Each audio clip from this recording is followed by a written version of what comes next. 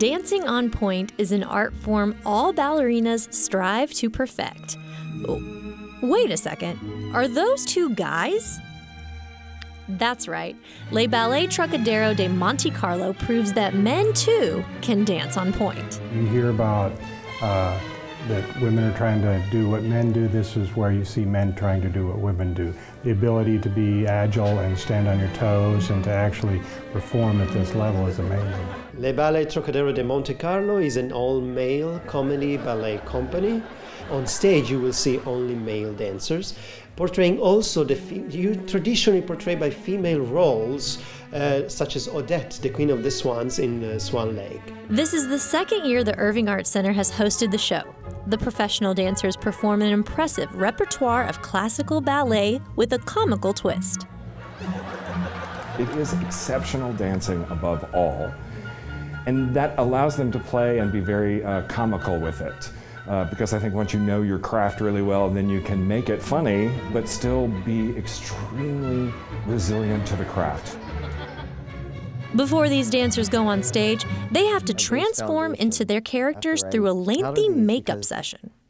We went backstage to get insight so into the process. So one of their dancers has come in uh, the night before to give a preview of the makeup. So we're going to watch him get into drag for the drag portion. Most of the dancers play a male character and a female character, and they have incredible names for each of them uh, that are all very comically based. And um, and so he is going to do a demonstration of getting into drag and doing the makeup and um, and showing a select group of people here how that works, and then getting into full costume. So I'm glad that you enjoyed yourself. Oh my God.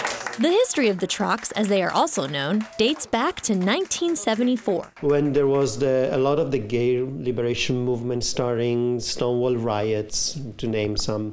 And um, a lot of theater was done in a parody form and in drag. And Le Ballet Trockadero de Monte Carlo is a spin off of a company that was from there, from that period of time. The Trocks are now a worldwide phenomenon phenomenon, presenting a hilarious take on ballet classics.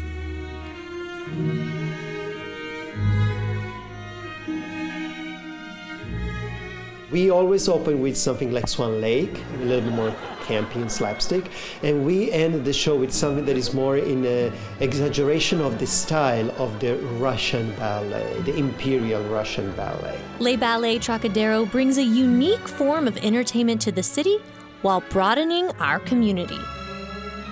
Well, I think it's always important to look at the diversity that we have within our community and see the different things that are available.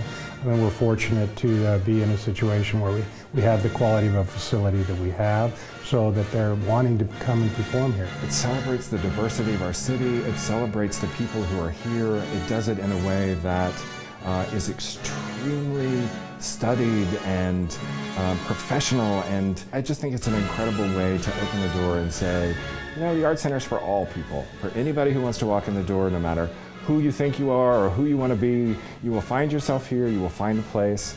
Uh, you know, it's sort of our way of saying, you know, Irving, I see you. Organizers and the city hope the Trocks make a graceful and hilarious return to the Irving Art Center next year. For About Towne, this is Susan Stevens.